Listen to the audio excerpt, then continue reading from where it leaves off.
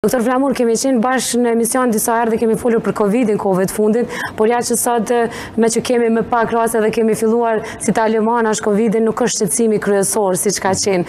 Sëmundje të ndryshme, ndoshta edhe prej ambientit edhe prej klimës në Kosovë të cilën e kemi në këto ditet pavarësisht që nuk është shumë ftohtë, ndoshta edhe shumë faktorë tjerë kanë ndikuar që sëmundjet e mushkërive të jenë me pacientë në numër të madh.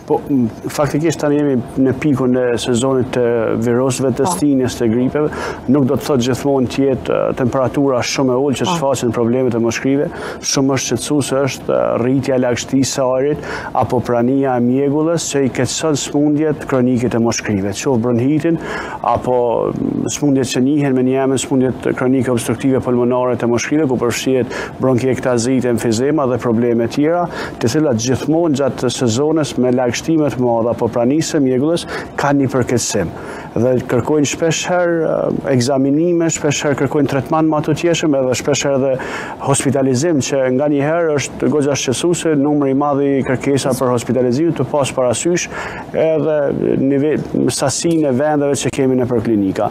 Mirëpo, realisht duhet me cek se jo gjithmonë vetëm sëmundjet ekzistuese keqësohen gjatë kohës së dimrit ose po. gjatë stinës me lagështi më të madhe, por shpeshherë kemi edhe shfaqje të simptomave domethënë për herë të parë. Po. Domethënë kemi pacientë të rinj që diagnostikohen për herë të parë, qoftë me bronhit, qoftë me probleme të ndryshme të mushkërive, tu pas parasysh edhe këtë se tani në stinën e dimrit edhe ekspozimi në ambiente të mbyllura që fatkeqësisht po. konsumohet në sasi të madhe cigarja, duhani është shqetësuese rritja e problemeve kronike të mushkërive, apo edhe shfaqja ose rritja e numrit të kancerit të mushkërive, që në këtë rast, zakonisht, ne kemi, gjithmonë e kemi potencu se numri më i madhë është i pacientëve të gjinisë mashkullore, mirëpo tanimë ka një tendencë të rritjes edhe te gjinisë femrore, e ndoshta edhe një barazim, i cili ndodh si pasojë e konsumimit të duhanit njëjtë nga të dy gjinitë. Kurse, një faktor tjetër shumë i rëndësishëm është edhe ekspozimi në vendin ku pihet cigarja apo edhe intenziteti i vetë pirjes së duhanit, po. shkakton një rrezik ma të madh për shfaqjen e sëmundjeve të ndryshme kronike të mushkërive, apo edhe në shfaqjen e kancerit të mushkërive. Po, a kanë... Po. po. Realisht, shfaqja e kancerit të mushkërive vjen edhe si pasojë edhe e pirjes së duhanit, kjo është një fakt tashmë i ditur. Ne në rrjetet sociale kemi publikuar edhe një sondazh, ku lus edhe regjinë që të na transmetojë edhe në monitor, ku kemi pyetur edhe të gjithë ndjekësit tanë në katër opsione, duhanin e lë për katër arsye. Arsyet për po i presim dërisa regjia të na vendosë fotografinë, Dhe në rrjetin tonë social në Instagram e kemi vendosur këtë sondazh ku i kemi vendosur edhe katër opsione. Pra pyetja ka qenë duhanin e lë për. Nëse më thotë mjeku, ndjekësit tanë janë përgjigjur me 33%, nuk e lë për asgjë 17%, kam provuar por prapë e konsumoj janë 17% dhe vetëm nëse sëmurem nga një sëmundje e rëndë janë 33%. Shkalla e pirjes së duhanit në vendin tonë mbase është e lartë, mirëpo edhe mungon edhe vetëdijesimi për shkaktarët që mund t'i jep edhe pirja e duhanit.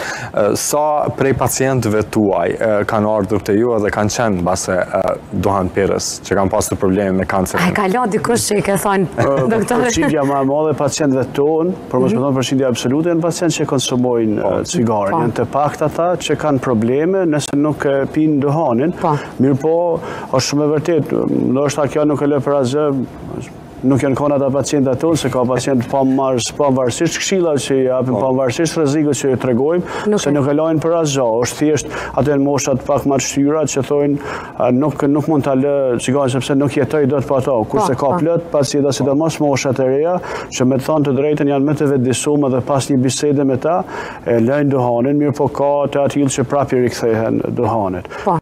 Unë besoj që edhe vetëdijesimi është i paktë me me fushata sensibilizuese ose njoftuese për rrezikun real që shkakton Duhani, mirëpo, marketingu ose trendi është shumë, shumë në disfavor të shëndetit, është shumë në favor të biznesit të duhanit, që fatkeqësisht po mundësohet shumë edhe nga mosrespektimi i ligjit antiduhan. Po, po, po. po në fakt, mirë që e përmende, doktor, edhe mosrespektimin e ligjit, sepse shumica e tyre të cilët pësojnë, ndoshta janë edhe ata të cilët nuk e pinë fare duhanin, por gjenden në një ambient ku konsumimi i duhanit është shumë i lartë. Sa janë të rrezikuar realisht ata? Po, në fakt, pothuajse e njëjtë, edhe duhanpirja pasive, po që se ekspozohesh në një ambient të mbyllur që ka koncentrim të madh tymit të duhanit, është rreziku potencial. Janë ata punëtorë të cilët ndoshta vetë nuk e pinë duhanin, por gjithmonë janë të ekspozuar gjatë shërbimit në ambientet sidomos në ambientet e gastronomisë, ku është goxha shqetësuese, ky ky përqendrim i njerëzve që e pinë duhanin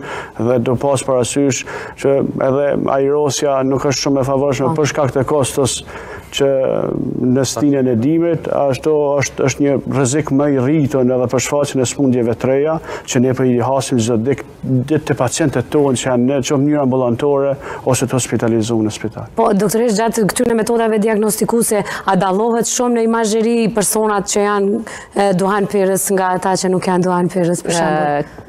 E gjetjet imazherike te po. pacientët duhanpirës edhe jo duhanpirës janë ka gjetje imazherike. Po. Po gjithmonë pacientët që janë duhanpirës një pjesë e madhe siç përmendi doktor Flamuri shumica kanë një pjesë e madhe kanë probleme me kollë, kanë probleme po, bronkite, kanë probleme njëta që të gjitha prezentohen qoftë edhe me ekzaminime